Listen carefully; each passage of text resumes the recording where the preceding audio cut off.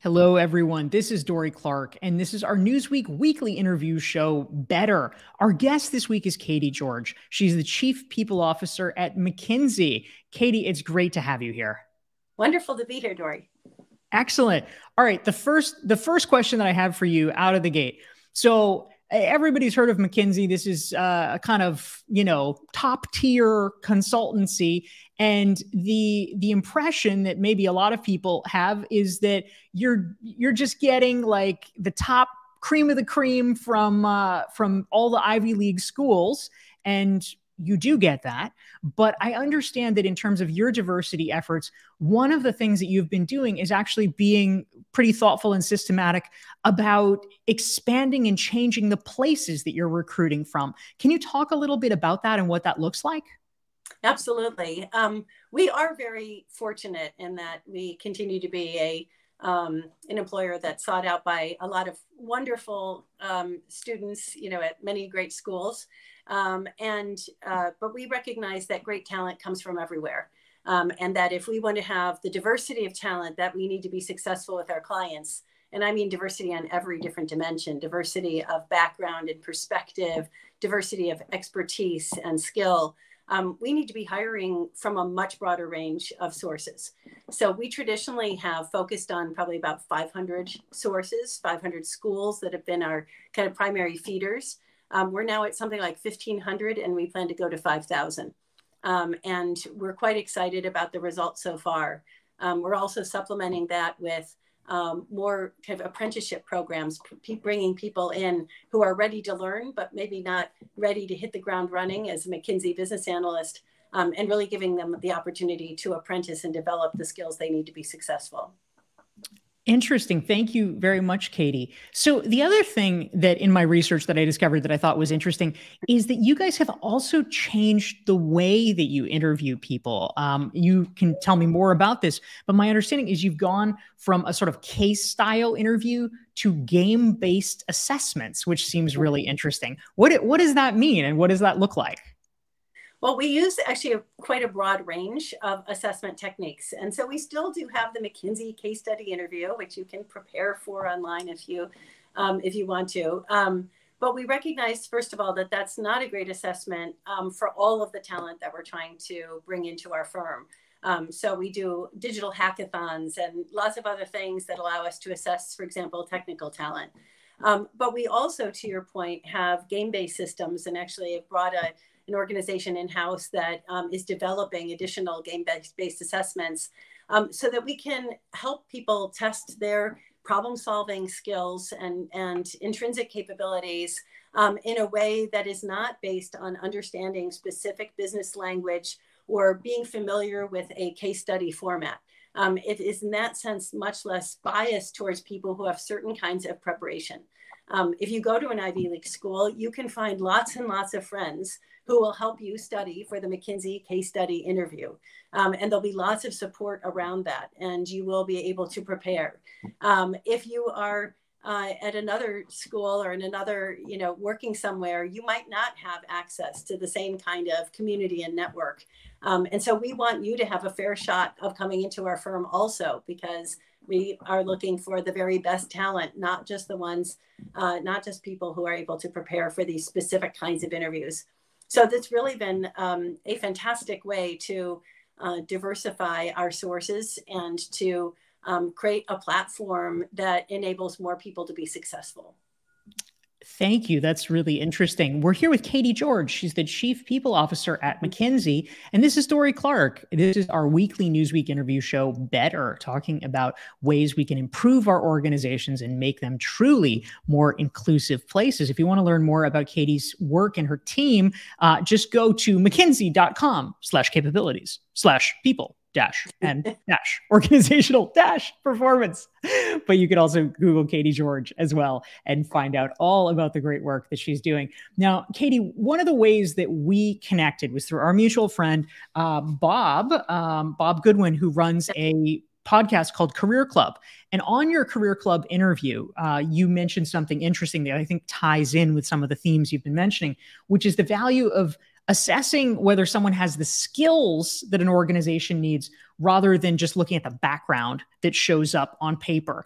Now, obviously, people look at uh, degrees at credentials as as kind of a you know a, a heuristic a shortcut because it's it's kind of time consuming and a little complicated i would imagine to really assess skills uh, even if that's the fairer thing to do so how do you approach this how can you actually get closer to that ideal um, when it's a tricky thing to do um, i think you're right that the number of years you've been in a role, what school you went to. In some ways, uh, sometimes those are markers of your capability and, and your potential, but sometimes they're not. Um, and they're lazy markers. And so we are pivoting to much more of a skills basis and a skills credentialing kind of approach, both for how we welcome people into our firm and help them develop the kind of tailored learning and development journeys that will help them be successful based on their starting position, their unique starting position.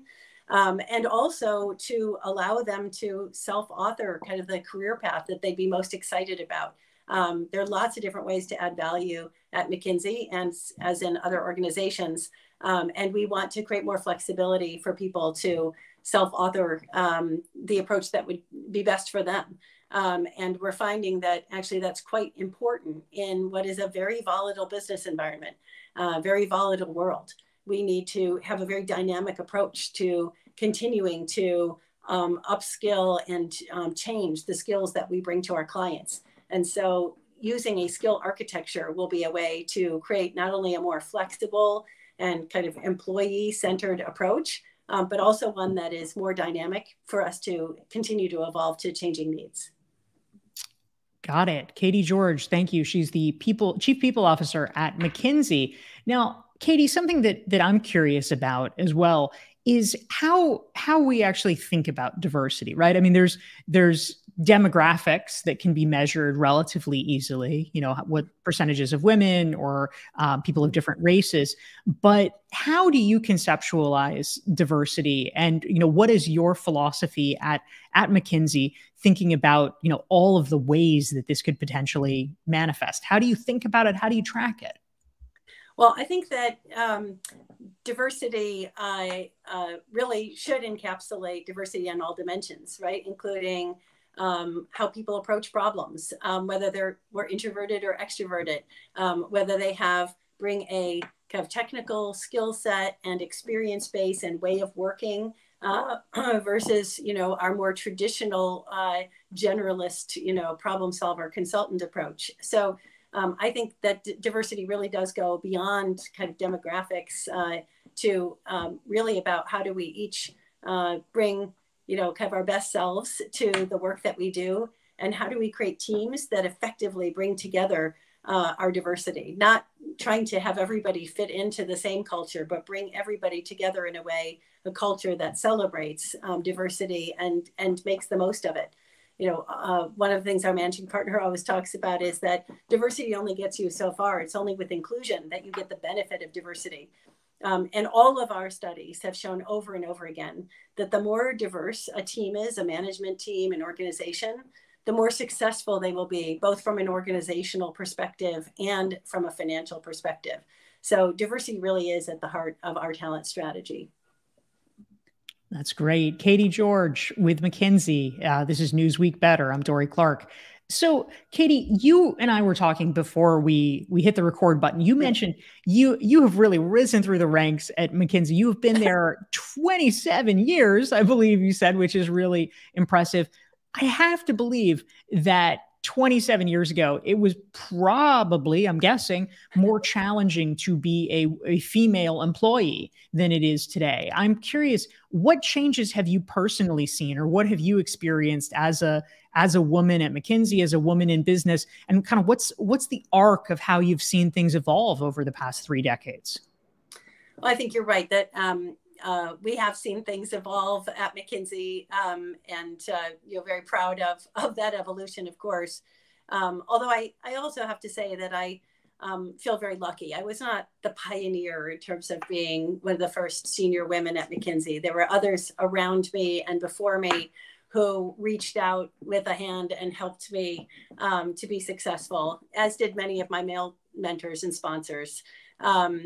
Uh, but there have been a lot of changes um, in our firm, and they uh, include, you know, first of all, just many more role models um, who are women uh, at every in every part of our firm. Lots of our office managers, our sector and function leaders, uh, and and the members of our board are, are women. So it's it's a we now have a significant number of senior partner women who are, by the way, a very tight knit kind of force within the firm, all advocating for uh, continued women's development and, and diversity in general um, and supporting each other. Um, so I think the notion of this network and the just the numbers of women who've been successful certainly changes changes things. But I think we've also made a real shift in our understanding um, that supporting women in our firm and making sure that we have representation at all levels of our firm, um, both for women but also other diverse groups, um, is not just a nice to have kind of social strategy, but is really fundamental to the business strategy, to our business success, to our um, to our organizational success, to success with our clients. And I think that's become a real shift, you know, over time that is manifest in how our leadership um, teams um, think about the importance of diversity, of their own role in accountability and diversity, we now, for example, for every single partner in our firm, for all 2,000 partners, we measure how many people they are mentoring and sponsoring. And we also, and we measure, we, we note how many of those people are women and how many of them are diverse. And that is a statistic that goes into their annual review. Um, we look at that when we're making uh, decisions about who will be the next office managers or the next practice leaders. We look at the size of their kind of sponsor group and the diversity of it um, we look at how we are staffing teams and whether we're creating diverse teams over time and which you know which client serving teams are really creating diversity and which ones need some help to ensure that we are creating diversity. So it's very fundamental to how we think about success. We're not where we want to be. I don't want to suggest that we have completely cracked the code but the mindset the you know alignment on the um, uh, on the goal um, of equity um, and the rationale for that being um, a fundamental talent strategy is something that I think is now um, quite has taken root and is shared. That's great. Katy George, Chief People Officer at McKinsey, and this is Newsweek Better. I'm Dorie Clark. Now, Katy, you were recognized uh, recently in Forbes's inaugural Future of Work 50, which recognizes people who are shaping the future of work. Um, I am curious, one of the things that it seems like everybody in the HR talent space has had to talk about over the past few years is remote slash hybrid slash work from home and how that is impacting the workforce. I'd love to hear your thoughts about it. You know, how how are how do you think about it? What's McKinsey doing? And also, how do you feel like this factors into considerations around diversity, which you know some people um, believe it may have some overlay in that area as well? Yeah, um, I mean, I think this is an exciting area and it's continuing to evolve. So nobody has kind of the final answers because we're still developing better technology um, for hybrid work. We're, we're evolving work processes and have micro habits. Um, you know, my belief based on data, um, because we measure what our teams do. How are they thinking about co-location? You know, how have they co-located? How often? Um, and then we look at the outcomes um, what has driven attrition versus retention, what has driven excitement. We do a weekly pulse survey of all of our colleagues. How are you feeling? So we know how are the people feeling who've been co-located versus the people who have not. Um, what is our client feedback relative to those things? So we are very. What are you finding out? Studying. What we found is that there's a bit of a sweet spot around 50% co-location. Um, that um, and that's not a policy for every team to be together exactly two and a half days per week every week. Um, it's much more about how do we, um, uh, how does each team make decisions um, that balances personal needs, the different types of work that they're doing, what their clients are expecting and need, uh, in order to create the right environment to do their work both collaboratively and independently. Um, and those teams that are finding a way to be co located at least 50% of the time are getting to much better outcomes um, around the client feedback uh, and experience, around the excitement of the team members, around retention of our colleagues, um, and also interestingly around development. So when you ask um, each of our colleagues, which we do every year, how many mentors and sponsors do you have? People who are working mostly remotely have about the same number as the people who are working uh, co-located more often. However, the quality of the sponsorship, the opportunities for development are better when there's at least 50% co-location. However, when you increase the co-location beyond that, there's not a continued linear improvement in those statistics. And so what we're finding is that there really is a sweet spot about being together roughly 50% of the time, depends on the work and, and the nature of the work, et cetera. Um, but then really leveraging technology to drive the personal flexibility as well as um, kind of accommodate different types of work needs um, for the rest of that 50%.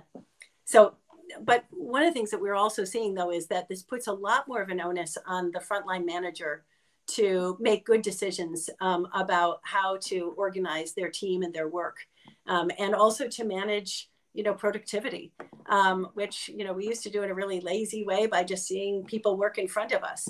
So i do think that we're seeing um, you know much more of a push on how to develop our frontline leader skills in our case our team leaders skills um, and i think we're seeing that in other organizations as well because there's not a one size fits all answer um, the answer is somewhat nuanced and there is huge performance uplift on all different dimensions, people as well as kind of business performance for getting it right. That's great. Katy George of McKinsey, Chief People Officer. So Katy, one of the the things that we do regularly with Better is every week we have our guest nominate a better leader of the week. And this is someone who is doing on the ground work that is advancing in some capacity issues around diversity and inclusion. And your nominee, and I'm hoping you can tell us a little bit more about her and why you chose her, is Carolyn Pierce. Can you tell us about Carolyn? Yeah, Carolyn Pierce is a wonderful partner colleague uh, of mine, so partner at McKinsey, um, who has an interesting background herself. Um, she did not go to college, um, so she's not some Ivy League degreed person at McKinsey, um, but has um, grown up through the firm very, very successfully as a partner and um, has really become a champion for the paper ceiling movement, both broadly in supporting our client organizations as well as you know, other organizations around paper ceiling um, kind of movement, right? The movement, as we talked about before, from uh, you know resumes and college degrees to really looking at skills and potential. Um, and it's been a real motivator and catalyst for us internally as well. So as we think about expanding our sources of uh, of great talent, it's not just about expanding our sources of colleges to recruit from or business schools, uh, but also looking at um, colleagues or potential colleagues who don't have college degrees. I love that. That's great. Katy George, we have time for probably just one more question with you. And also, before we hopped on this call, one of the, the commonalities that uh, that we discussed, uh, you are a former board member of Union Theological Seminary. I uh, got a master's degree at Harvard Divinity School. And one of the things that you mentioned in terms of the sort of broad focus around diversity of all kinds is that you have been involved in, and McKinsey has uh, some multi faith groups at uh, at the organization. I'd love to hear more about that and how you think about um, you know sort of multi faith or interfaith efforts as part of the mission around diversity. Um, well, I think I think multi faith for me has um, been really um, rich and kind of fulfilling way to build community um, in McKinsey. Um, we had a multi faith group in our office for a while. Right now, um, uh, there's several of my fellow board meeting meet members and I who who meet regularly um, and talk about our faith and from very different faith traditions. Um, so I think it's been for me a, an important kind of personal way of building community and continuing a journey as a person of faith, trying to live my faith through my work. Um, but it's also, I think, such an important um, way of bringing communities together in this world that feels increasingly fractured and um, at odds with each other. And um, I'll tell you when you know you have a conversation with people from different parts of the world with different faith backgrounds and find that really you have so much in common as to what your aspirations are for how the world should work, how people should be treated with justice and compassion, um, and how you know all of these colleagues are trying to live that mission into the way that they lead in the jobs that they do. Um, it just brings us together more, and I I think that um, you know corporations and, and certainly McKinsey can be glue across our fractious world because we have a common working culture um, and a common set of values um, and um, being purposeful about creating glue across what otherwise can be very divisive, um, you know, kind of cracks uh, in our world is is is something that we can do um, through our through our work lives. That's terrific. This is Dorie Clark, and this is our weekly Newsweek interview show, Better. If you want to never miss an episode, you can go to dorieclark.com, download a self assessment. You will be added to the email list and get reminders about wonderful shows like this. And we have been here with our guest for the week, Katy George. She is the Chief People Officer at McKinsey. Katy, it's such a pleasure to have you here. Thank you for joining us. Thank you for having me. Thank you all, and see you next week.